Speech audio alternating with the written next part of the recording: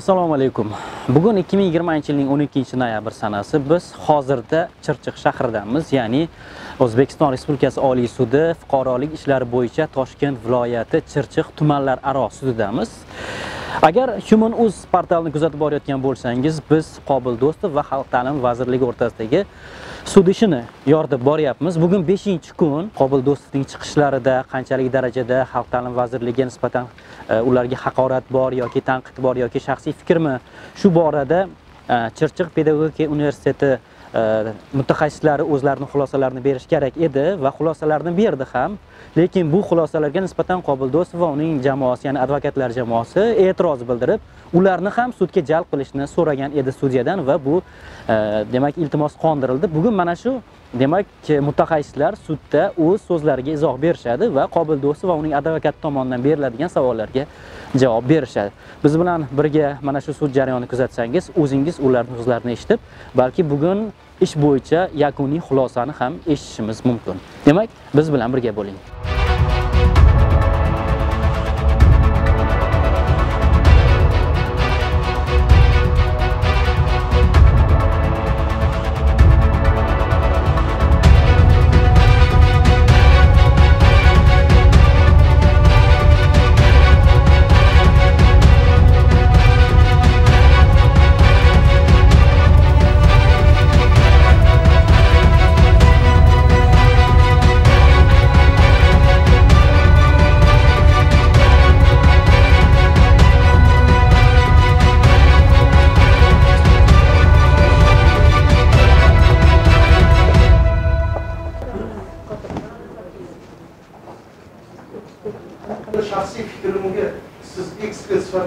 Sifatida baho bera olasizmi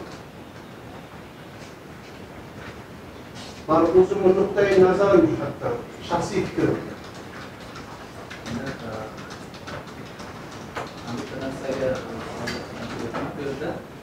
faqat o'sha joyda berilgan vazifaga berilgan vazifaga munosabat bildirish asosiy aytganimizdek berayotgan savollaringiz bu.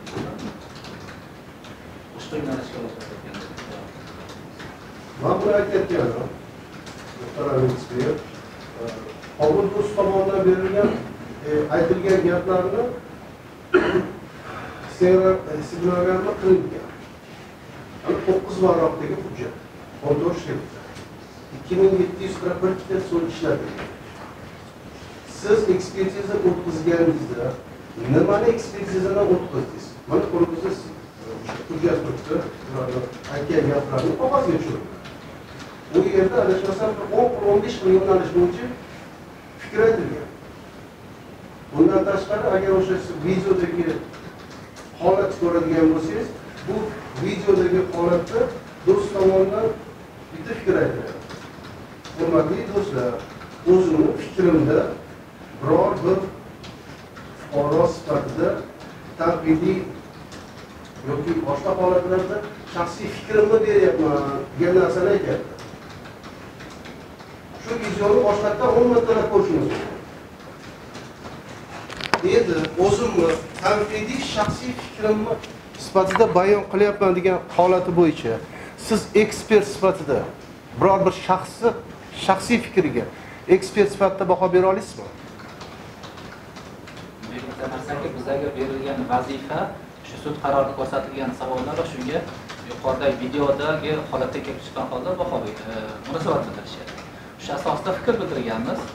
Bu yerda endi ekspert sifatidagi munosabat degan narsa siz ekspert sifatida munosabat bildirdingizmi yoki shaxs sifatida?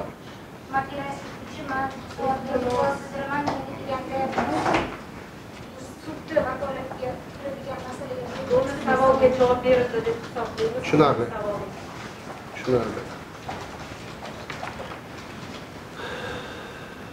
aytingchi e, o'sha ekspertiza o'tkazgan davringizda e, bu video necha daqiqadan iborat ekan?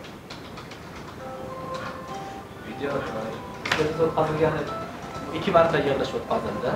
Bittasi yig'ilish o'tkazilib video hammaga o'sha a'zolar hammaga berildi va hamma videoni ko'rib o'z munosabatini bildirib keldi va ikkinchi marta yig'ilganimizda o'sha asosida unga xulosalarimizni berdik jamlandik endi uni daqiqalari bilan bunaqangi hisoblagan yo'q ahamiyatsiz deb o'yladim necha daqiqalik video ekanini. Keyingi savolingiz? chunki hisobotga ekspert kanaliga necha daqiqadan iborat deb qo'yilmagan. Keyingi savolingiz. tushunarli. Bitta e'tiroz bor edi hurmatli savollar aniq xulosa bo'yicha berilganda uni taqdir bo'yicha taqdir bo'yicha javobgarlik tarafga ogohlantirilgan noto'g'ri xulosasi bo'yicha xulosa bo'yicha gaplashaylik taqdir bo'yicha emas hurmatli sud uzr sizdan bu prokurorimizni xolisligi to'g'risini aytsam endi hozirda man shubha qilyapman va bu prokurorni man rad qilaman ariza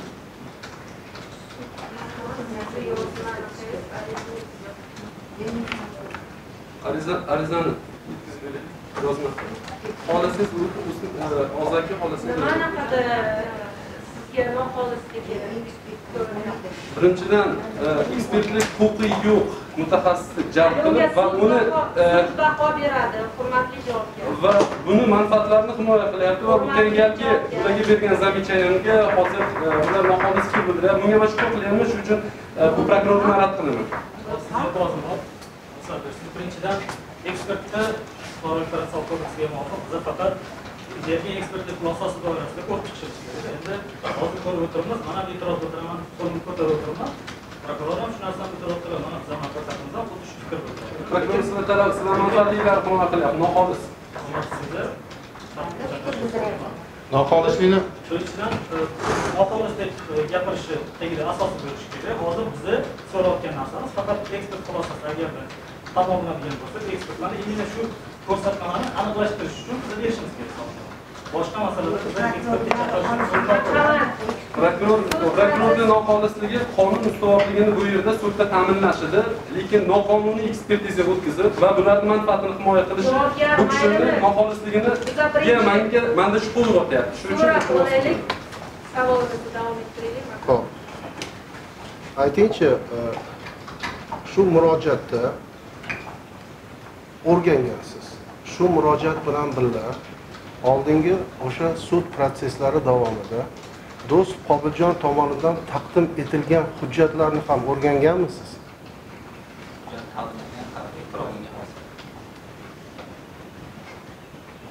Sizlar gapirtirasizlar mani advokatim yo'qmi qanaqa e'tiroz javobini beryapsiz undan Hurmatli sud, bu yerda hurmatli sud,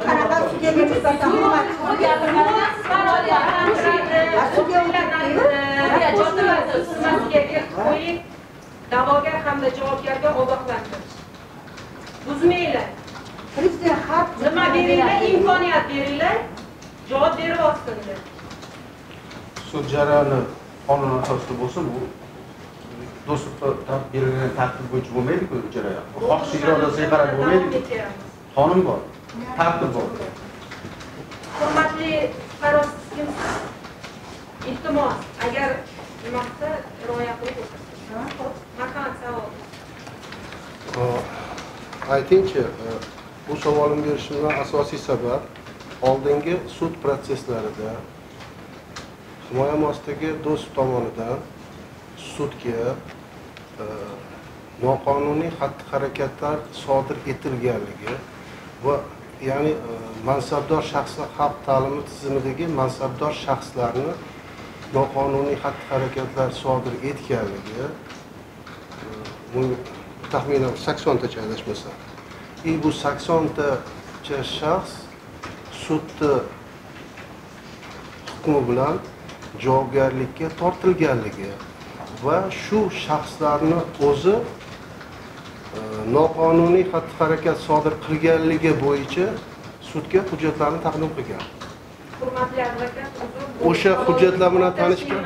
Bu ishga aloqasi yo'q. Hozir biza ta'lim vazirligi tomonidan qilingan xatti-harakatlarga baho bermayapmiz. Da'vo talabi yuzasidan berilsin. tushunarli aytingchi unaqada do'st tomonidan aynan nima jumlalari noto'g'ri ishlatilgan ekan va kimga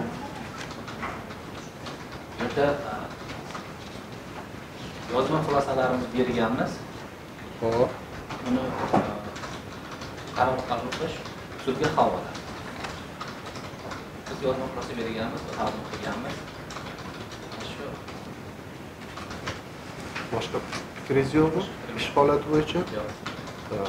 Aytingchi anavi e, hozir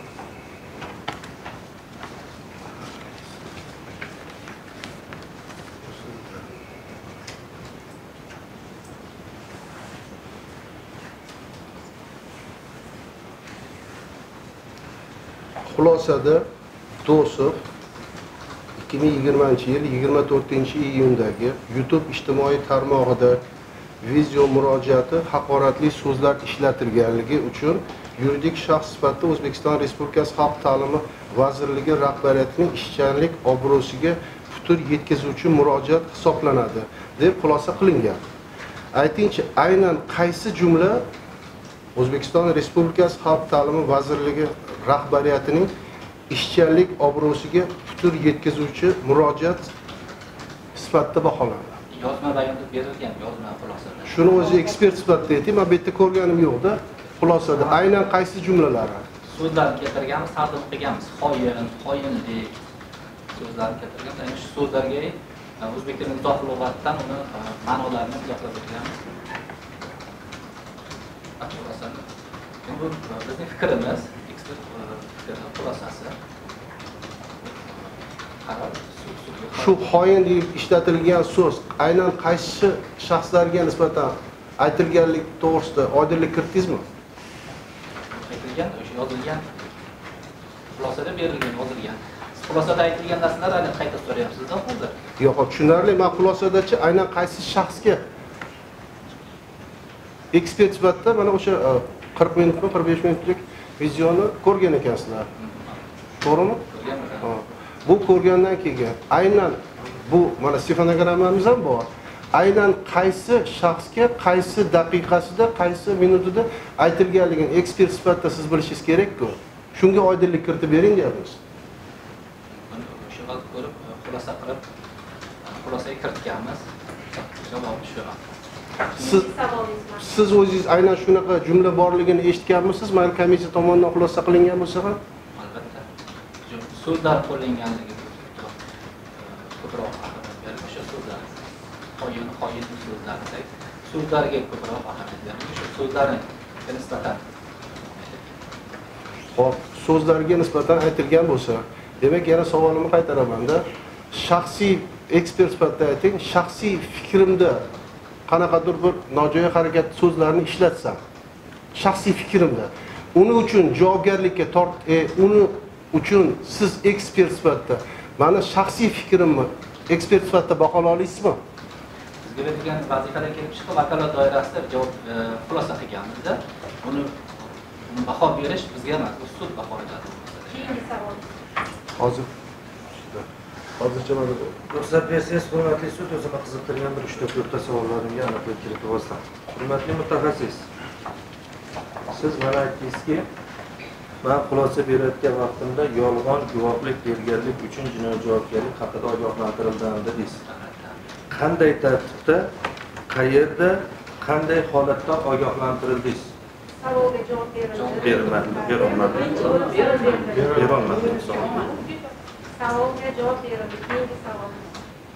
Ogohlantirilganmisiz deb so'radi. Bular ogohlantirilganmisiz deb so'radilar man tartibini so'rayapman. Qanday tartibda siz ogohlantirildingiz keyingi savolingiz demak bu savolga javob olmaymiz. Tushunarli ikkinchi savol.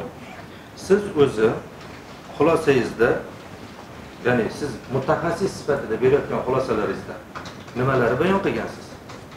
Yozilgan bayon qilgan. U yozilganini man yarmini o'qib oldim yarmini o'qolmadim ho'p o'zingiz bizga ochiq oydin tushuntirib yozma ravishda qanaqa xulosa yozma berasiz ravishda xulosa berganmiz. Uni yo'q deb o'ylayman Ha, demak bu xulosani o'zingiz bermagansiz yozilgan tayyor bayonnomaga qo'l qo'ygan. Shunaqa tushunsak bo'ladimi? Emas bu yerda guruh tuzilgan o'sha guruh tomonidan birgalikda e, xulosaga kelingan bitta mani xulosam emas tushunarli. Yakuniy xulosaga sizlar qanday tartibda keldinglar hammanglar bitta xonaga yig'ilibmi yoki hamma yozma ravishda konvertga solib jo'natdinglarmi? Tartibi qanday bo'ldi bitta xonada yig'ilib umumiy xulosaga kelingan va oxirida qo'l qo'yib berganmiz Xo'p. mana e, sizlar bergan bayonnomada to'qqiz kishi ishtirok etgan bo'lsa shundan ikkitasi shart degan nimani qo'ygan? Ya'ni kech e, ommaviy axborot vositalari orqali raddiya bildirishi shart degan kechirim uzr so'rash. Uzr uzr so'rash shart belgilangan lekin qolgan qismi e, aniq shart degan belgi yo'q. Lekin yakuniy qarorda nima deydi? Ommaviy axborot vositalari orqali raddiya bildirish kerak degan xulosaga kelgan. Kelingan ho'p bu ovoz berish yo'li bilan bo'ldimi yoki kimnidir shaxsiy tashabbusi bilan bo'ldimi? Tashabbus emas umumiy fikrlar jamlanib shunaqa. Umumiy fikr bo'lsa yettiga ikki. Bu yerda rad qilinishi kerak. Edi bu holat yuzasidan tushuncha bering. Shuncha mana shu. Umumiy fikrlar jamlangan shu asosida e, xulosa hamma xulosa o'sha xulosaga kelinganligi asosi bo'yicha qo'yib berishgan tushunadi ruxsat bersangiz keyingi savolga o'tsak mana siz tomoningizdan berilgan o'sha xulosa qanday ilmiy asoslarga asoslangan? Ya'ni siz e, tayanayotgan ilmiy adabiyotmi yoki kimnidir ilmiy ishimi butun bir o'zbekistonda umum e'tirof etilgan tamoyillarmi qonun qoidami nimaga asoslangan? Yoki faqat sizni shaxsiy fikringizmi bu asoslantiruvchi tushuncha so'zlar ma'nosini asoslantiruvchi e, manba bu yozma e, ma'lumotga ma'lumotda keltirilgan. O'qib ko'rgan bo'lsangiz o'zingiz bilasiz buni e, o'zbek tili izoh lug'ati bu besh jildlik ikki ming olti ikki ming sakkizinchi yillarda nashr qilingan o'zbek tili izoh lug'atidan olingan manbasi aniq betlari aniq ko'rsatilgan jildlari ham aniq ko'rsatilgan. Tushunarli. O'zbek tili imlo lug'atida har bitta so'zga alohida ta'rif berilganmi yoki butun bir jumlalarni birlashtirib ta'rif berilgan holatlar bormi? Siz savolga tushunmayman man izohli lug'at haqida gapiryapman siz imlo lug'at. Ho'p izohli lug'at. Izohli lug'atda har bitta so'zga izoh berilganmi yoki jumlalarga nisbatan ham izoh berilganmi? Izohli lug'atda har bir so'zga nisbatan izoh beriladi. Buni manimcha siz o'zingiz bilsangiz kerak siz siz mutaxassissiz. Biz sizdan o'zimizni qiziqtirgan holatlar bo'yicha sud ruxsati bilan javob olish haqqimiz bor. Ho'p siz o'zingiz xulosa berayotgan vaqtingizda xulosa berayotgan vaqtingizda aynan bitta so'zga nisbatan munosabat bildirganmisiz yoki butunlay e, aytilgan so'zlarga nisbatan munosabat bildirganmisiz? Munosabat umumiy ma'noda kelib chiqa qoldi Xo'p, siz mana o'zingizni berayotgan xulosangizni go'yoki o'zbek tili izohli nimasiga asoslandi deyapsiz. Lekin o'sha bitta so'zga nisbatan ta'rif berilgan. Bu so'zni asl ma'nosi nima? Qayerdan kelib chiqqan? Qaysi ma'noda ishlatiladi? Ko'chma ma'nosi nima? Asl ma'nosi nima? Ular to'g'risida to'liq ma'lumot berilgan. Lekin bu yerda siz ko'chma ma'nolari, so'z o'rtasida kelgan holatlari o'zingiz xulosangizda inobatga olganmisiz? albatta so'zni bu yerda hamma asl ma'nosi ham ko'chma ma'nosi ham izohlangan va bu yerda qanaqa ma'noda qo'llanayotganligi haqida ham yozma ma'lumot berilgan Xo'sh, keyingi savol.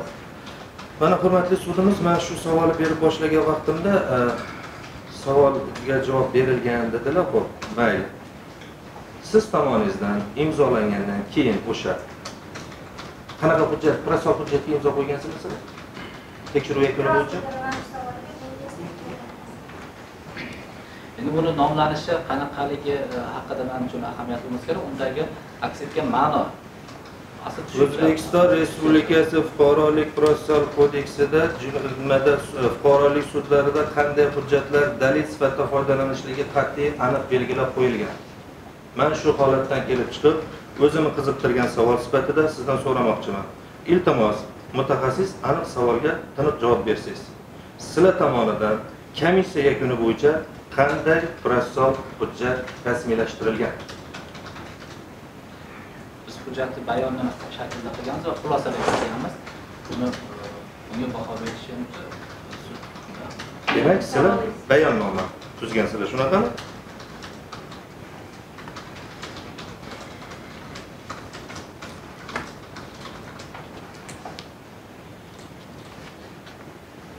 bormi savol Menda boshqa savol yo'q. Bor. hozir mana bergan xulosangizni shu qarash bilan savollar berildida siz mana hammasini xolis sog'lom o'tkazdim sizga qandaydir bir ta'sir ta'sir bo'ldimi? Shu xulosa berish bo'yicha yo'q ha? Siz mana shu bergan xulosangiz to'g'ri deb o'ylaysizmi bu xulosa bizni fikrimiz bizni xulosamiz va e, taqdim qilganmiz boya ham boshida ham aytib o'tdim buni e, baho berish sudga shunday tushunaman tushunadi. Ruxsat bersangiz yana bitta savolim bor, uzr, menga. Mana sizlar komissiya tuzib xulosa bergansizlar. Komissiya kim tomonidan tuzilgan? E, komissiya tuzilganligi haqida qanday protsessual hujjat rasmiylashtirilgan? komissiya bu inst e, rektorning buyrug'i bilan rasmiylashtirilgan va buyruqda ko'rsatilgan e, a'zolar o'sha jarayonda e, qatnashgan va shu asosida Bayonnoma tuzilgan. Tuzilgan. Yaxshi. Siz shu komissiyaga a'zo sifatida kirayotgan vaqtingizda, ya'ni rektori buyrug'i asosida siz komissiyaga a'zo sifatida buyruq chiqibdi. Shu komissiyaga a'zolari qatorida siz e, shu komissiyaga qanday hujjatlar taqdim qildingiz?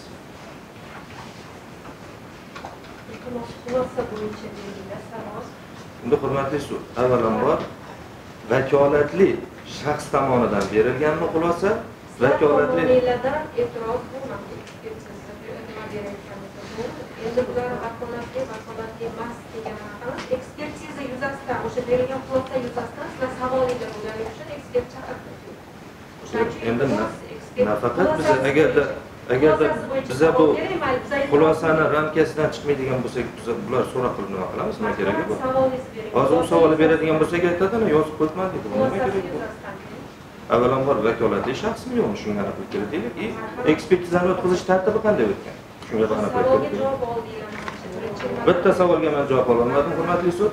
Jinoiy javobgarlikka qayerda qanday tartibda ogohlantirilgan bu savolga javob bermadi bo'yicha e, yig'ilish o'tkazilishdan oldin bizni ishchi guruhimiz tarkibida institut yurist konsultant e, ishtirok etgan o'sha joyda lavozim ko'rsatilgan. Ular tomonidan shu a'zolar hammasi o'sha e, ikki yuz o'ttiz sakkiz ikki yuz qirqinchi moddalar bo'yicha ogohlantirib qo'l qo'ydirib olingan adashmasam moddalari yaxshi shu yerda nima deb yozilgan? Edi yolg'on guvohlik bermaslik uchunmidi Ha, albatta o'qib bergan hammamiz eshitganmiz. Hozir aniq so'zma so'z esimda yo'q lekin o'sha vaqtda aytilgan yolg'on guvohlik bermaslik bo'yicha shu shu moddalar bo'yicha ogohlantiryapmiz man qo'l qo'yib berasiz deb qo'l qo'yib berganmiz. Shu asosida keyin ish ko'rilgan.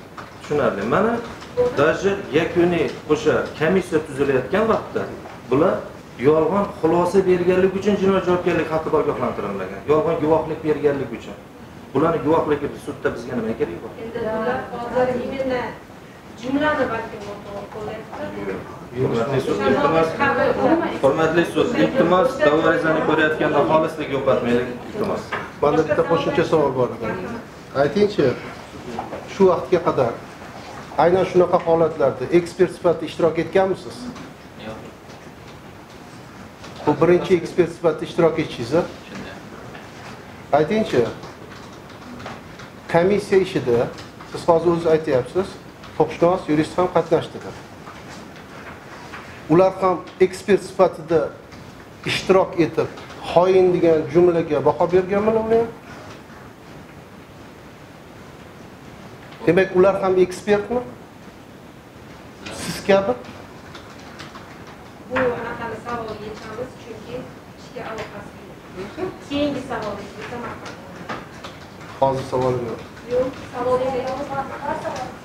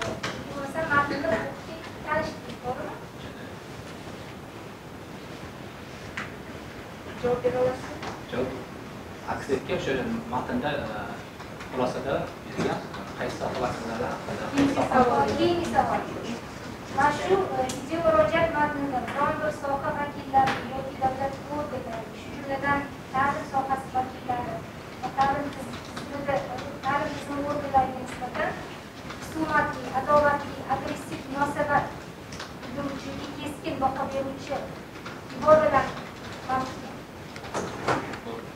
so'zlarni nuqtai nazaridan qo'yaylik o'sha so'zlarga nisbatan shunaqa munosabat xulosa berganmiz Qaysi so'z? xoin xoinlik xoinlar so'zlar ketadi Xo'sh, keyingi savolim.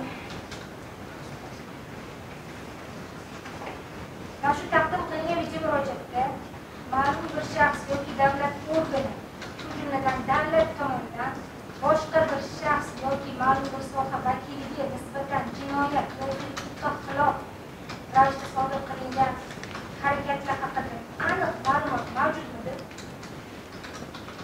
savol yaxshi tushunmadim Mana masalan, ha, to'g'ri savolni yechadi sud chunki bular e, huquqshunos mas'ulga jon Keyingi keyingi savolga o'tamiz. Endi man boyagi keltirilgan fuqaroda soqol degan savolga nisbatan shu savolni qo'yganman. Keyingi savolim. Demak, shu video murojaatda alohida olingan shaxslarni xatti-harakati bo'yicha mas'uliyatni bo- boshqa sohani boshqa vakillariga nisbatan yuklash, tatbiq qilish holatini sezdilar. Boshqalarga. boshqa shaxslarni qilgan qilmishlari uchun boshqa shaxslarni ayblash. Tushundingizmi savolim? tushundim endi bu yerda biroq man e, shunos bo'lganim uchun ingliz nuqtai nazaridan yondashganmanda siz aytayotgan holat bu yuridik anaqalarga bog'liq bo'lyapti Savolni hozir- Asli tushunib ketish shu masalaga o'tib ketish mumkin. Jadidlarni qattiq qildinglar. Qachon bo'lgan gap? Uni haqida yuz bo'lsa kerak ma'lumot. Mana shu holat. javob bera olasizmi yo'q boshqa savol keyingi savol Hop, endi keyingi savol. Do'stov tomonidan ishlatilgan so'z jumlalar haqoratli mazmunga ega buni aytib o'tdik boya qo'llagan so'zlarimiz da shunaqa ma'no mazmun aks etgan haqoratli mazmun aks etgan.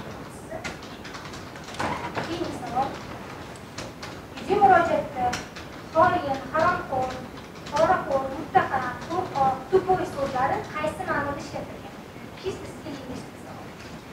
buni ma'nolari bilan Mazkur so'zlarda haqoratlash, kamsitish ma'nosi bor, mavjud. buni ma'nosida izohlab ko'rsatganmiz matnda faqat aynan shu so'zlar haqida to'xtalyapmiz boyadan beri Demak, sizdan aynan feol sifatida bir marta yana so'rab o'tmoqchiman. Mazkur so'zlarda haqoratlash, birovni haqoratlash, kamsitish mazmuni bor. Video murojaatda. xoin xoinliklarda haromxo'r, poraxo'r, muttaham, qo'rqoq, tupoy so'zlar ishlatilgan. Haqoratlashga kiradimi lingvistik nuqtai nazardan?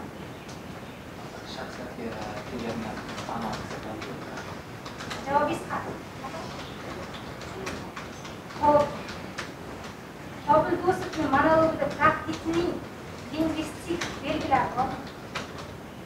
shu so'zlar ma'nosida Yo'q, sizga tushuntirib ketaman savolimni. Masalan, shunaqa joylar borki, ertaga bilinglar, sizlar qoidalar safida qolasiz va shunga javob berasizlar. Hurmatli sud ruxsat bersangiz iltimos. O'zlarini qiziqtirgan aniq savolni bersalarda yo'nalish bermasdan aniq tiniq javob olsalar. Chunki o'zlari savol berib o'zlari yo'nalish berib o'zlari javob berib qo'yadilar. Iltimos. Video murojaatni murojaatni- chunki video murojaati mutaxassis sifatida butun bir e, fuqarolik ish hujjatlari bilan qo'liga berishgan 15 kunlab bilan qayta o'rganib berasiz. keyingi savolingiz so'ragan ma'lumotlar matnda xulosada aks etganmiz. Yana shu ma'lumotlar. Bitta qo'shimcha savolim bor edi aytingchi mana hozir oxir e, bitta oldingi savolga qaytamiz haromxo'r poraxo'r tupoy degan so'zlar ishlatilganiga deb ma'lumot berildi. Siz ekspert sifatida shu so'z aynan kimga nisbatan aytilganligi to'g'risida aniqladingizmi biror bir holat и qaysi holatda aytilgan? Albatta bu so'zlarni qo'llanilgani va kimlarga nisbatan qo'llatgani ham yozganmizku yo'q kimga nisbatan aytilganligi bormi aniq xalq ta'limi tizimi rahbarlariga nisbatan deyilgan. Shu qayerda ekan? Shuni o'sha e, stenogrammani ko'rdingizmi o'zingiz? Qo'lingizda stenogramma qildinglarmi? Shu suhbatda bir adashmasam manda stenogramma qilgandim to'qqiz baroq chiqdi. To'qqiz baroq shuni qaysida nechinchi daqiqasida edi nechinchi minutida edi qayerdaligi sizda yo'q shu narsani ko'rsatib xulosalarimizni aks etgan ma'lumotda yana shunga Keyin qaytaryapsiz bu savolim yo'q hozir Savollar yo'qmi? bittagina savol qoldi ruxsat bersangiz hurmatli sud. Mana siz ekspert sifatida e, ustoz mana sizga savol bergan vaqtda o'zingizni huquqlaringizni bilasiz mana degan vaqtda siz ikkitagina huquqingiz haqida gapirdingiz. Lekin vaholanki sizda juda ko'plab e, qonunda belgilangan huquqlaringiz bor edi mana shu lingvistik ekspertizani kechirim so'rashi shart degan xulosaga kelishdan oldin siz sizga ekspertiza e, tayinlagan davlat organi yoki suddan qobil do'stov shu holat yuzasidan ma'muriy javobgarlikka tortilgan yoki tortilmaganligi to'g'risida menga ma'lumot kerak deb talab qildingizmi? O'zingiz qonunda belgilangan huquqlaringizdan foydalangan holatda. Ma'lumotlar taqdim qilingan sud tomonidan ma'muriy javobgarlikka tortilganlik to'g'risida qaror ham bor ekanmi shuning ichida sizga yakuniy qat'iy xulosaga kelishingiz uchun shart degan so'zni ishlatishingiz uchun hujjatlar ma'lumotlar sud tomonidan E'tiroz bildiraman. Tushunarli, boshqa savolim yo'q.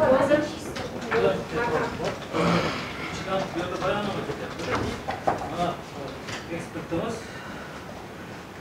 e, shafqorov o'zini munosabatini bildirgan qolgan ekspertlarni bildirgan fikri yozilmaydi bayonnomasida mayli agarda haqiqatdan shu ma'nosiga mazmuniga qaraydigan bo'lsak bu xulosa emas bayonnoma sifatida turilgan lekin oxirida sud qo'ygan savollarga xulosa berilgan xulosa qismida unaqa narsa yo'q. Sudni qo'ygan uchta savolga uchta javob berilgan shuning uchun bu narsani buni ichidan hozir mazmuniy ham ahamiyatli Ekspertga savollar bo'lmasa, marhamat, rahmat. Xo'p, taraflarda ish bo'yicha iltimosnomalar bormi? bizda bitta savol bor edi. Da'vogarga nisbatan. Da'vogarga nisbatan bitta savol bor edi. Mana da'vo arizasi bilan tanishib chiqdikda. Mani tushunishim bo'yicha.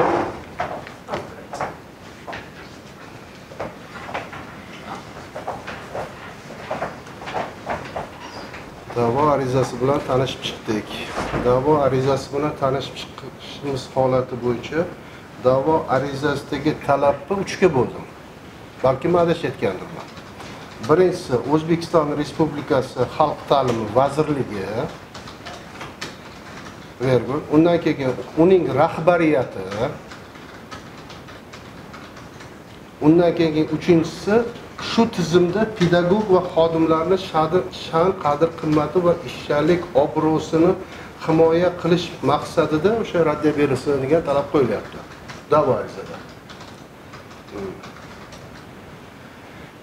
Endi aytingchi shu xalq ta'limi tizimida nechta xodim ishlaydi? Yetti yuz ming.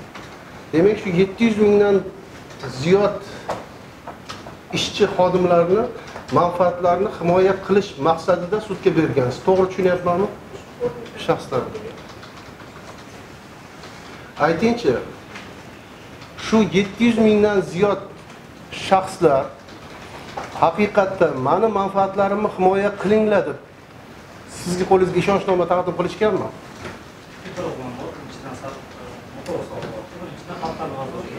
Ta'lim tizimidagi davlat boshqaruvi organi hisoblanadi tizimda ishlayotgan hamma xodimlar xalq vazirligini xodimlari hisoblanadi biza har bittasida olish yoki bizada qanaqadir imzolarni yig'ib deputatlarga o'xshagan deputatlikka nomzod kirish uchun unaqa narsa vakolat yo'q birinchidan xalq ta'limi vazirligi javob beradi har bitta xodimga shuning uchun yetti yuz mingta xodim ishlayapti butun tizimga qarata aytilgan gaplar shunga raddiya berish uchun xalq ta'limi tizimi nomidan xalq ta'limi vazirligi nomidan demak agarda sizni tizimingizda faoliyat ko'rsatuvchi ertaga birorta bir shaxs kelib aytsa man vakolat bermaganman bu holat bo'yicha sudga berishga. Man bu narsaga qo'shilmayman sizni fikringizga. Deb turib chiqdi misol uchun. Ishonchnomasini olmagansiz. Siz nima deb shu paytda fikr berardingiz? Bildiraman chunki da'voni predmetidan kelib chiqyapman. Chunki yetti yuz mingta shaxs yetti yuz mingta shaxsni hozir mana e, da'vogar o'zlari aytyaptilarki yetti yuz mingta shaxsni xodimimni manfaati yuzasidan sudga da'vo kiritdim deyapsiz. Endi demak sudga shaxslarni manfaatlari yuzasidan da'vo kiritgan paytda shu shaxsni o'zi haqiqatda shu narsani xohlaydimi? Siz uni nomidan sudga kirishingizni yoki xohlamaydimi? Shu narsaga birinchi o'rinda oydinlik kiritib da'vo arizasini tagiga yetti yuzta ishonchnomani yetti yuz mingta ishonchnomani taqdim qilganmisiz? Bu bu narsani e, da'voni talabiga hech qanaqa aloqasi yo'q. Birinchidan xalq ta'limi vazirligi sifatida biz o'zimiz xodimlar nomidan chiqishimiz mumkin. Siz aytayotgan gapingizni agarda bitta odam man qarshiman degan bo'lsa значит xalq ta'limi vazirligi bunaqa da'vo berishga huquqi yo'q degan narsaga olib kelmoqchi bo'ldi lekin bu olti yuz to'qson to'qqiz mingta odam borda. Mingta odam agarda yo'q man shart emas man qabul do'stni qo'llab quvvatlayman deydigan bo'lsa ham bizada olti yuz to'qson to'qqiz mingta xodim bor har bitta xodim uchun gapirgan joyimiz yo'q. Biz butun tizim haqida gapiryapmiz xalq ta'limi vazirligi tizimi judayam katta tizim judayam ko'p xodimlar ham ishlaydi rahbar xodimlar ham ishlaydi unda e, boshliqlar ham o'qituvchilar ham oddiy farroshlar ham qorovullar ham ishlaydi. Har bittasiga taalluqli bo'lganligi uchun xalq ta'limi vazirligi nomidan biza falonchi falonchi o'qituvchi nomidan falonchi falonchi e, rayon mudiri nomidan yoki falonchi falonchi xalq ta'limi vazirligida ishlovchi xodim nomidan berganimiz biza xalq ta'limi vazirligi nomidan shuning uchun bu savolni yechishimiz keyingi savol. Aytingchi e, siz hozir qobil do'stovni so'zlarini mana stenogrammada ko'rdik. Stenogrammada qobil do'stov bitta fikrni aytyaptilar. Mani shaxsiy fikrim bo'yicha do'stlar fikr almashmoqchiman akalar azizlar ukalar deb boshlayaptilar shaxsiy fikrim bo'yicha mani shaxsiy fikrim shu. Shu shaxsiy fikrim bo'yicha oxirida aytyaptilarki agarda biror bir xato kamchilik qilingan bo'lsa uzr so'rayman. Demak shaxsiy fikrlari bo'yicha hozir xalq ta'limi vazirligi sudga da'vo qilib chiqyaptimi? Demak qobil do'stov o'z shaxsiy fikriga ega bo'lishi shart emas har bir gapiradigan gapini uchinchi shaxsdan ruxsat so'rab keyin gapirishi lozim. Degan fikr kelyaptimi? Hurmat sizga agar mana misol uchun hozir man man bitta o'zimni shaxsiy fikrimni bildiraman sizga nisbatan bitta haqoratomuz gapir gapirsam bu narsa man javobgarlikka tortilmasligi kerak. Bu advokatimiz judayam boshqa tomonga ketadi bu e, mana mayli lingvistik xulosalar haqida gapirmaymiz.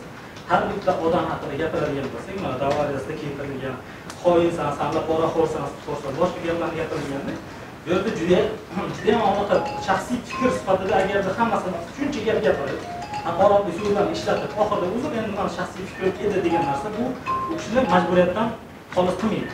Chunki ommaviy axborot vositalariga facebookga youtubega boshqa ijtimoiy tarmoqlarga chiqarilgan video.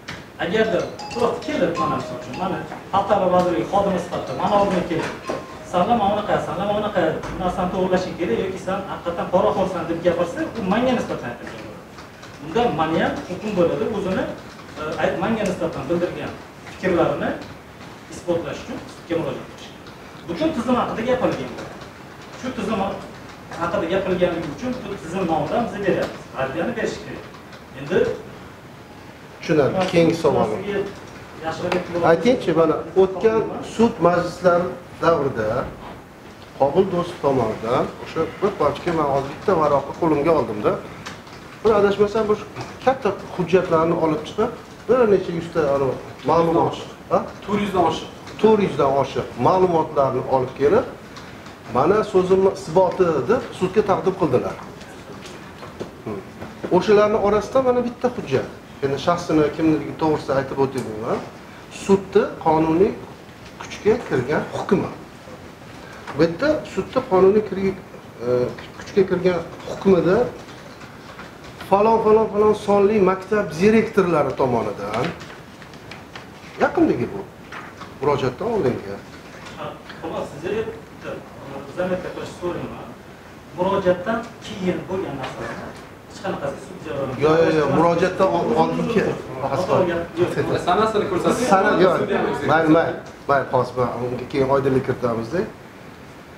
Falon nafar attestatsiyadan o'tmagan o'qituvchilarga huquq beradigan biror bir harakatlar sodir qilganligi uchun maktab direktorlari tomonidan ular e, budjetni pullarni restavratsiya qilish yo'li bilan talab taroj qilganligi uchun jinoyat javobgarlikka tortilgan. Rahbar o'sha rahbarlar to'g'risidagi ma'lumotlar sud hujjatida ham bor. Tanishishingiz mumkin o'tgan safar topshirilgandan keyin tanishgan bo'lsangiz o'shalar to'g'risida fikr berdim deyaptilar. O'sha yuzta ikki yuzta nechta bo'ladigan bo'lsa mansabdor o'sha paytda o'sha rahbar lavozimida ishlagan shaxslar to'g'risida fikr berdim deyaptilar. A nimaga u haqiqatda sudni qarori bilan hukm bilan tasdiqlangan holatlar bo'lib turib mavjud. Mansabdor shaxs ham mavjud. Ha. o'shalar mavjud bo'lib turgan holatda nimaga siz e, yana uzr so'rasizlar demak u rahbarlar bu hukm chiqqan ekan. Demak qonuniy chora ko'rilgan ekan shu shaxsga nisbatan. To'g'ri. Demak davlat tomonidan yoki xalq ta'lim vazirligi tomonidan yoki boshqa bir davlat organi tomonidan bunga e'tiborsizlik qilinmabdi chora ko'rilibdi. Ho'p ayb nima ta'lim vazirligida chora ko'rilibdi shunaqa Endi- nima demoqchisiz mana qarang qarang mana qarang savolni mana endi savolni qisqartiraman birinchi tushuntirib beraman shu holatlar aniqlangan ekan. O'shalar haqida o'sha nojo'ya so'zlarni ishlatibdilar o'shalarga nisbatan. E'tirozim bor endi o'shalarga nisbatan ishlatilgandan keyin nimaga bu holatni sizlar o'zlaringizga qabul qilyapsizlar? Yo'q. Tartibga chaqiringiz orqadan har xil belgilar berish butun sud jarayoniga jarayoniga xalaqit berdi man yosh bolani ko'ryapman sud zalida kim ketsinlar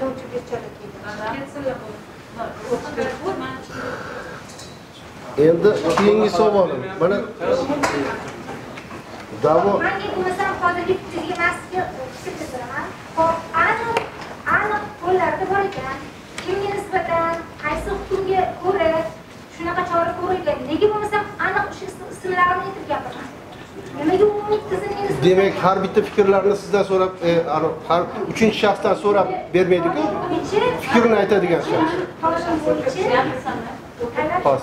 aniq aniq shaxs ko'rsatiladilarmi demak umumiy tizimga nisbatan gapirilyaptimi? Uni haqiqatga isbotlab berolmadilarmi demak isbotlab berishlari lozim edi degan kelib chiqib savol qo'yilgan seni nima demoqchisiz bo'lmaydi tartibga rioya qilgan rioya qilyapman o'sha sizlarga misol bo'lgan sudda e, noqonuniy bo'lganman Постовой chaqiring turing sud zalida xalaqit beryapsiz savol bersam mayli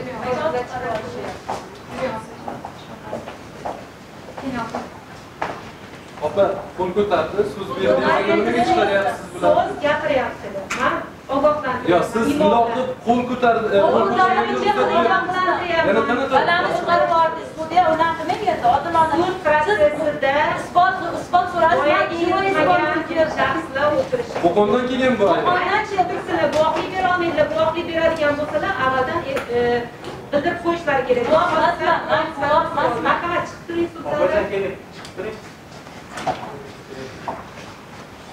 Hurmatli sudya sizni butun dunyo ko'radida iltimos qilaman. Sizga ham odamlar xolis baho berib qo'yadi. Iltimos xolis bo'ling. Man prokurorga fikrimni bildirdim. Marhamat savolingiz hozir keyingi savol. Da'vo arizada ikkinchi betida uchinchi vajjiga bildiryapsiz bu yerda aytyapsiz. Ertaga bilinglar sizlar xoin sifatida qolasizlar degan iddaosi bilan fuqaro do'stov nafaqat xalq ta'limi vazirligi rahbariyati va xodimlarini vergul balki boshqa davlat amaldorlarini ham xoinlikda xoinlikda asossiz ayblamoqda. Bash- balki boshqa davlat amaldorlari deganda nimani nazarda tutgansiz? Endi biz kerak o'sha e, shu murojaatda e, javobgar tomonidan masalan xalq ta'limi vazirligi va fanlar akademiyasiga ham xuddi shunaqa sani xoin sanasani yana boshqa misol uchun mana attestatsiya tizimi bo'yicha gapirgan attestatsiya tizimi birinchidan xalq ta'limi vazirligini aloqasi. Yo'q bu ta'lim inspeksiyasi bor vazirlar mahkamasi attestatsiya hammasi boriga borib ketgan o'ttiz qirq ellik odamlar ishlaydi odam bu уже faqat xalq ta'limi vazirligi emas. Bu degani ta'lim inspeksiyasiga ham bildirilgan davlat test markaziga bildirilgan fikr sifatida bu shuning uchun bunday uchun boshqa e, davlat organlarini boshqa davlat e, xizmatchilariga nisbatan aytil- aytilgan e, sifatiga bizni taqdim qildi. Ha, demak da'vo arizangizdagi bu bandi sizga taalluqli emas. Noto'g'ri tushunishlarni xohlamayman ko'rmassizlar mana da'vo arizasi bor da'vo arizasi bilan tanishish kerak. E, bu yerda nafaqat xalq ta'limi vazirligi deyiladida endi agarda o'zbek tilini tushunadigan odam bo'lsa to'g'ri tushunadida. Nafaqat xalq ta'limi vazirligi degan bilan xalq ta'limi vazirligi hamda bu boshqa boshqalarni nazarda tutilyaptida.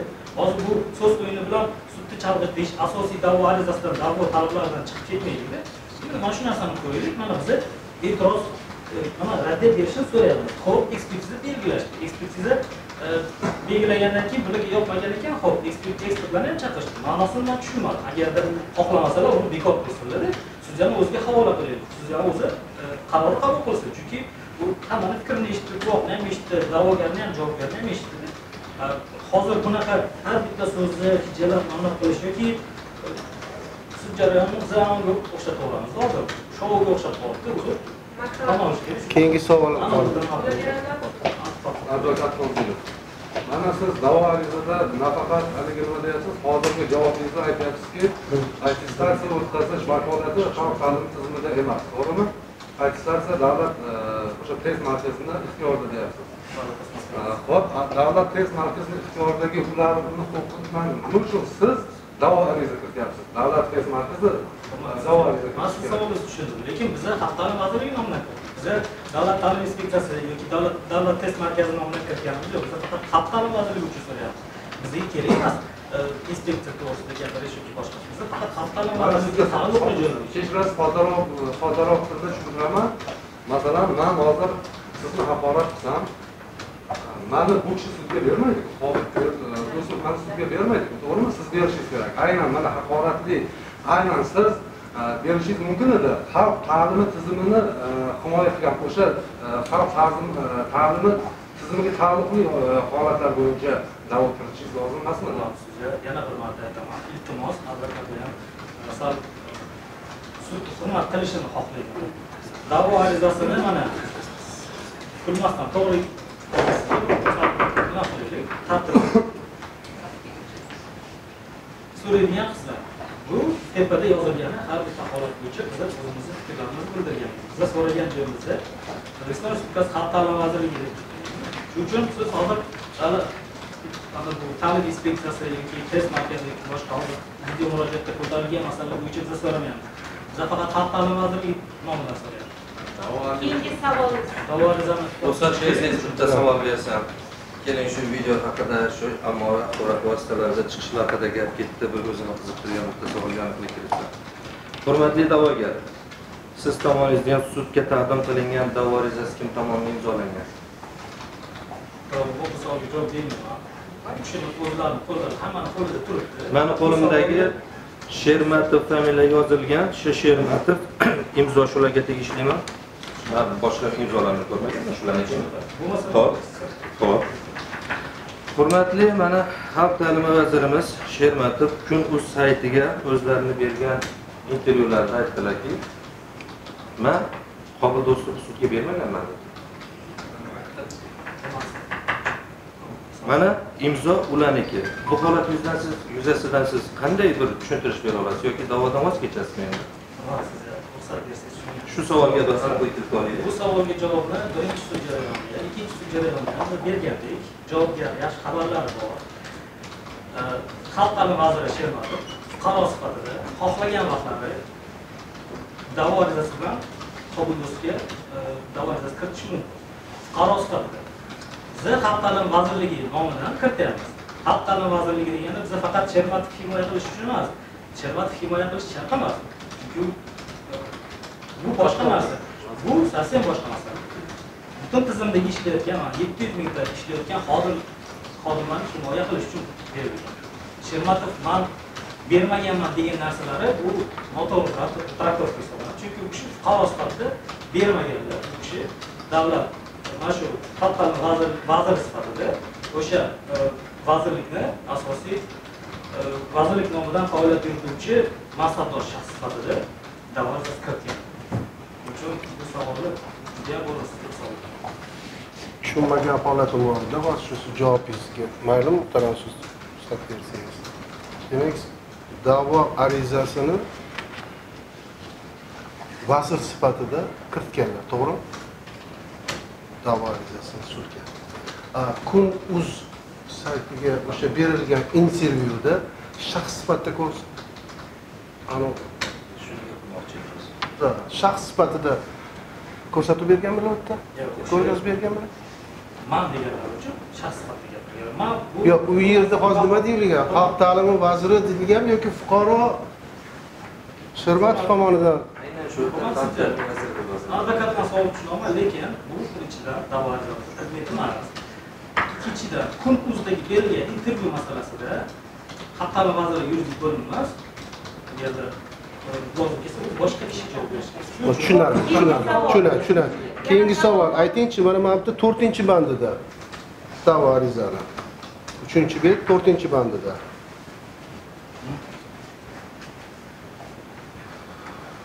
Murojaatda bayon etilgan men bolalarimni o'zbekistonda ta'lim olishni istamayman bu yerda o'qitmayman bolalarimni boshqa joyda o'qitaman deb aytibdilar. Bu shaxsiy fikrlari. Da'voda shuni menga asoslantirib beringchi bu da'vo kiritish yo'li bilan nima qilmoqchisiz? Majburan o'g'illarni farzandlarini maktabga olib kelib joylamoqchimisiz? Do'stov savolni aniq marhamat advokatlar agar siz javob bera olsangiz javob bitta berasiz narsasi o'zbekistonda majburiy savolim shu narsa bor Mana, da'vo arizasini uchinchi beti to'rtinchi bandida. Siz kirityapsiz da'vo arizasini predmet sifatida murojaatda bayon qilingan men bolalarimni o'zbekistonda ta'lim olishini istamayman deb do'stov o'z shaxsiy fikrini sizlarga bayon qilgan. Siz bu da'vo predmetini kiritish yo'li bilan mana mana shu asoslantiruvchi qismida nima demoqchisiz? Do'stov farzandlarini majburan maktabga joylab qo'ymoqchimisiz o'zinglar arizasida majburan kiritmoqchimiz degan so'zlarni ko'rdingizmi umumiy da'vat chaqiruv ketyapti Ha, sizlar ha, bermanglar bolalarga tinglovchilar video murojaat ko'ruvchilarga nisbatan da'vat chaqiruv ketyapti bu shaxsiy fikr-ku ta'lim muassasasi kechirib qo'yasiz shaxsiy fikr agarda masalan qarama qarshi fikr man masalan bularga nisbatan o'zimni shaxsiy fikrimni aytsam darhol lekin bular haqidagi shaxsiy fikrim uchinchi shaxsga bildirgan aytgan maqolamda buning uchun agarda man aytgan so'zimni javob bermasam haqiqatligini isbotlab berolmasam bu uchun tegishli qonunlarda ko'rsatilgan javobgarlik Shuni- mas'uliyat tushunarli. Unaqada bitta savol.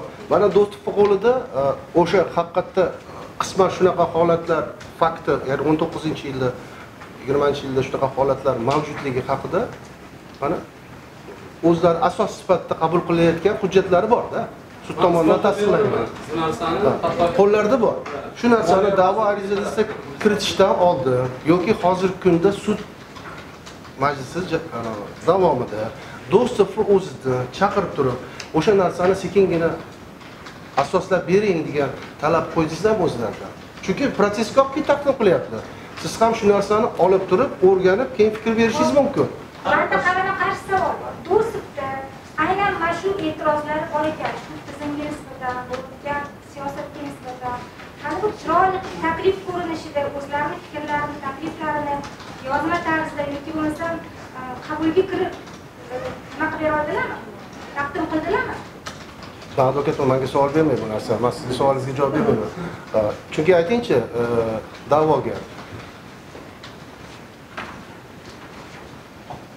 Siz siz hozir hozirgi kunda yo'q yo'q.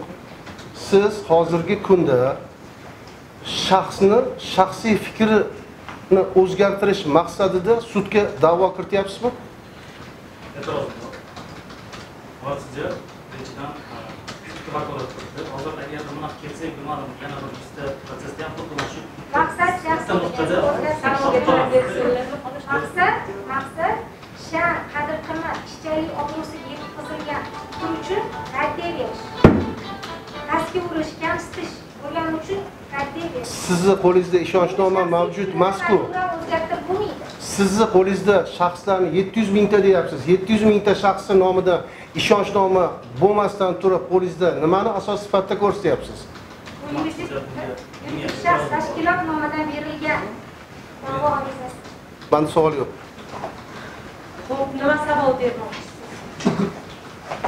mana aytingchi rahbar xodimlar deganda mana tizimdagi rahbar deganda fahamlarga kimlar kimlar tushunamiz rahbar deganda kimlarni tushunsak bo'ladi? Bu ham belgilangan xalq ta'limi bo'yicha tomonidan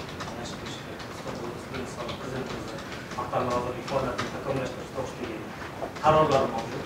Mazkur qarorga muvofiq e, xalq ta'limi vazirligini e, boshqaruv e, xodimlari cheklangan sonda belgilangan. Bundan tashqari har bitta bizani viloyat tuman xalqaro ta'limi boshqarmasi bo'limlarida ular xodimlar ishlaydi bundan tashqari maktablarimizda direktordan tortib qarorgacha bo'lgan xodimlar hammasi xalqaro vazirlik vazirligi xodimlari bu har bittasini rahbarlarni malaka talablari ularni lavozim yo'riqnomalariga egallagan shuning uchun aniq buni aniqlashtirishi hojati yo'q aniqlashtirishi mana endi siz xohlash bo'yicha man masalan mumkin man uchun tarixiy nomlar uchun man qonunni bilmayman.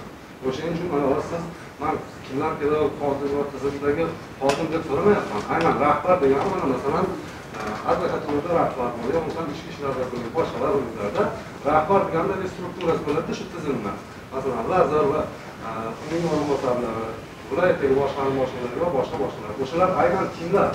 O'sha falonchi falonchilar rahbar hisoblanadi deb shuni qisqacha bir ma'lumot bersangiz man masalan bilmayman. Shuni siz orqali bilib olsam bir mazkur protsessda mazkur da'vo arizasiga qanchalik ahamiyatlarni ahamiyatliligini asoslab bersalar bitta man shu qisman savolga qisman o'zgartirishga kiritishni iltimos qilaman kollega e, rahbar mana bular aytmoqchilarki sizda tizimingiz bor. O'zingiz aytyapsiz. Respublika viloyat yoki shahar keyin tuman yoki shahar. Tizim bor. Shu tizimda demak rahbar xodimlar ham shu har bitta tizimda rahbar xodimlar bor to'g'rimi? Har bitta. Quyi quyi. Shu pastdagi tumandagi rahbar xodimlarni manfaatlari yuzasidan da'vo kirityapsizlar o'sha tumandagi yoki viloyat boshqarmalari boshliqlari tomonidan sizga bizni nomimizdan ham da'vo kiriting deb turib sizga bergan bildirgilari yoki hujjatlar mavjudmi sizda? Butun respublikada hamma tumandagi o'sha rahbarlarni. Savolga tashlashni lozim deb Tushundim. sud, chunki bu manimcha da'vo ariza ish yo'qligiga qabul qilingan hamda keyingi savol savollar yo'qmi? Sizlarda savol yo'qmi? Savol yo'qmi? Iltimosnomalar bormi taraflarda ish bo'yicha. Boshqa mutaxassislar kelmaydimi? Yo'q bu bitta bilan cheklanmadi boshqasi komandirovkada и unda hurmatli sud iltimosnomamiz bor. O'zbekiston respublikasi sud ekspertizasi to'g'risidagi qonun talablariga hamda sud ekspertizasi faoliyatini yanada takomillashtirish chora tadbirlari to'g'risidagi o'zbekiston respublikasi prezidentini qirq bir yigirma beshinchi sonli qonun talablaridan kelib chiqqan holatda ish yuzasidan qayta ekspertiza tayyorlab ekspertizasini ekspertizani ijrosini o'zbekiston milliy universitetiga yoki sulaymon sulaymonova nomidagi respublika sud med ekspertizasi zimmasiga yuklashingizni so'raymiz. Sa- asoslaridan bittasi mana sud majlisida isbotlab berdik. Noqonuniy yo'llar bilan olingan bundan dalil sifatida foydalanib bo'lmaydi. Iltimosnoma shu. Yana bitta salgina qo'shimcha bor.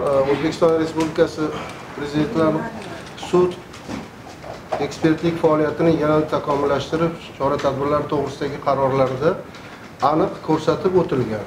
Har bir e, ekspert o'z ekspertiza o'tkazish jarayonida e, sud eksperti sifatida ishtirok etish uchun sertifikatga ega bo'lishlari lozim. Va bu e, ekspertlar adliya vazirligining rasmiy veb saytida joylashtirilishi lozim. Chunki birinchi navbatda bu ekspertlarimizni o'zidan ham e, sakkizdan to'qqizta ekspert olinadigan bo'lsa o'sha ekspertlarimizni so'rov yo'li bilan hammalarida sertifikatga ega ega emasliklari haqidagi ish hujjatlariga oydinlik kiritish maqsadida olish lozim. Chunki o'shanda bilamiz haqiqatda e, matbuot xizmati kotibimi e, degan jumlani ham o'qidimda ekspertiza xulosasida adashmasam o'shalarni ham demak ekspert bildiraman mana o'zini hozir e, sud ekspertizasi to'g'risida qonun bor. Shu qonunni o'n birinchi moddasida sud ekspertiga qo'yiladigan malakaga oid talablar. Demoqda uchinchi ikkinchi qismida ikkinchi abzatsida sud eksperti sifatida jalb etiladigan boshqa tashkilot xodimi va boshqa jismoniy shaxs oliy ma'lumotga alohida hollarda esa o'rta maxsus kasb hunar ma'lumotga ega bo'lishi lozim. Hech qanaqa sertifikat masalasi bu yerda talab sifatida qo'llanilgan demak bu yerda man boya savol berib o'tdim ekspertizada filolog ishtirok etdimi filolog o'zini ilmiy yondashgan xulosasini berdimi bizga shuni o'ziga iltimosnoma bo'yicha iltimosnoma bo'yicha fikrim ham demak bir marta ekspertiza tayyorladik xulosasini oldik u yetmadi qoniqishmadi ekspertlar chaqirildi eks- ekspert keldi asosiy filolog bo'lgan ekspert kelgani uchun man qoniqdim chunki savollar yuridik savollarga javob oldik darajada endi yana ekspertiza tayinlash bu vaqtni cho'zish chalg'itishga faqat qaratilgan deb hisoblayman chunki bu video murojaat hammamiz tushunadigan o'zbek tilida har kuni biza foydalanadigan hammaga tushunarli bo'lgan tilda berilgan masalan har bitta o'sha keltirgan haqorat qilgan suvchi so'zlagan mazmun mohiyatini har kuni bizni foydalanadigan so'zda ishlatilgan. Uni qanaqadir bir yashirin yoki bo'lmasam boshqacha bir mazmuni yo'q. Xulosada ham bu narsani oldik manimcha qolgani e, sudga tavsiya nimaga ahamiyatga ega bo'lgani uchun sudga havola qiladi.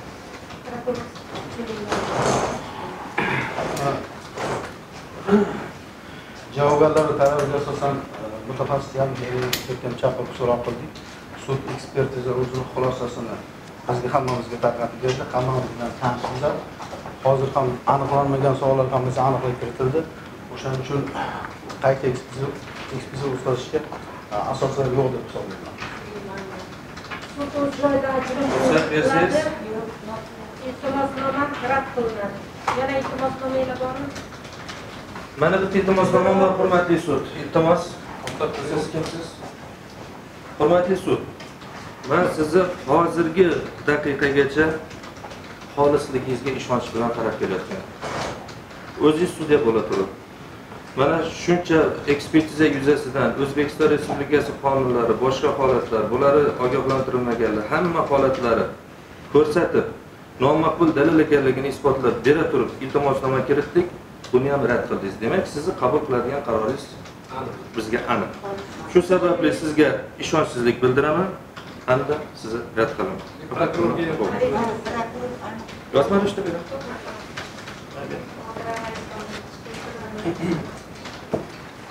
iltimosnoma bo'yicha отвод bo'yicha fikringiz. Man bu Kim qo'shilmayman chunki ekspertiza tayinlandi. Iltimosnomalar bo'yicha ekspertlarni chaqirildi savol javob qilish imkon darajada. Hattoki biz e'tiroz bildirdik emas vakolat doirasiga kiradigan shunda ham qo'yib berdingiz man qarshiman iltimosnomani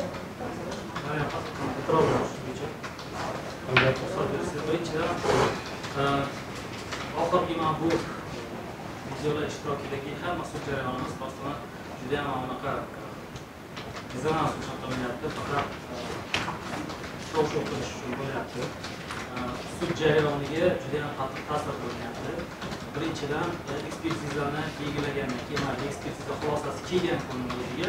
Mazkur ekspertiza ekspertiza xulosasi mana bayonnoma e, nomaqbul dalil sifatida rad etilishini so'rasalar edi man hech qanday e'tiroz tushunardim. Lekin bular ekspertlarni chaqirdilar bularni asosiy maqsadlarini man haligacha tushunganim yo'q. Ekspertlarni bu yoqqa chaqirishni. Lekin o'sha vaqtda nima uchun birinchidan ekspertiza qo'yilayotganda ekspertizaga o'zlari qo'shimcha savol qo'ydilar. E, chirchiq pedagogik institutiga berilganda hech qanaqa e'tiroz bo'lmadi. Keyin bayonnoma kelgandan keyin bayonnoma deb bu narsa kelgandan keyin uni nomaqbul dalil sifatida qabul qilishni so'rash o'rniga uni ekspertlar bo'yicha mazkur ekspertiza xulosasiga aniqlik kiritish masalasida e, bular iltimosnoma kiritdi bu narsa ham qano- qanoatlantirilyapti hozir endi mana bunaqa bo'lgandan keyin hozir o'zlariga yetarli o'zlari xohlamayotgan natija bo'layotganligi uchun yana qo'shimcha ekspertiza ekspertizadan sud qarorini emas ekspertiza xulosasini so'raganmiz uzr bitta narsa agarda hozir xuddi shunaqa nuqtai nazar bo'lsa man aytganimdek aylanib o'rgilib yuraveradi qoyi poraxo'r yoki sudxo'r degan hamma gaplari hech qanaqa hech qayerga ketgani yo'q. Advokatimiz aytganidek bu so'zlarni ma'nosini o'zgart- o'zgartirmagan shuning uchun sudya hamma narsani eshitib o'tirganligi uchun e, birinchidan rad etishni man asosini ko'rmayapman bu rad etilishi bularni inisiativa buni iltimosnomasi qaror qabul qilish sizlar lekin bu jarayonni yana cho'zib turishga yana e, noto'g'ri tomonlarga ketishga xizmat qiladi. Shuning uchun bu narsani rad etishni so'rayman. Mana da'vogar tomonidan ham gap o'tdi lekin sud jarayonini haqiqatan cho'zish va o'zlariga lozim darajada javob olinmagandan keyin sudda mana e, e'tiroz bildirib sud raisini suddan sud e, boshqaruvchi sudyaga e'tiroz bildirib e, unga nisbatan o'zgartirishni talab qilishyapti. Endi yana qo'shimcha shu haligi iltimosnomamizga ana hozir vakilimiz aytyaptilarki yo'q vakilimiz aytyaptilarki e, chirchiq pedagogika institutiga shu tayinlanganda e'tiroz bo'lmadi biz endi tushimizda ko'rib chiqqanimiz yo'qku u yerdagi o'qituvchilarga sertifikat bor yo'q- yo'qligini ikkinchidan ularni bu yoqqa chaqirib savol javob qilishimizdan maqsad avval aniqlik kiritib olish edi kiritib oldik mana yo'qligi uchun o'shaning uchun uni xulosasiga biz raddiya berib e, nomaqbul dalil sifatida baholashingizni o'shaning uchun so'rayapmiz